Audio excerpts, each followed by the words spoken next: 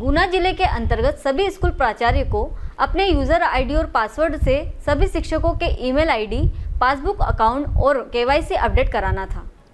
जिसकी अंतिम तारीख 21 मई रखी गई है। इसी को लेकर चाचोड़ा के बालक उच्चतर माध्यमिक विद्यालय में प्राचार्य राहुल रावत और कंप्यूटर ऑपरेटर ने उसके संकुल में आने वाले सभी शिक्षकों के केवाईसी अपडेट किए।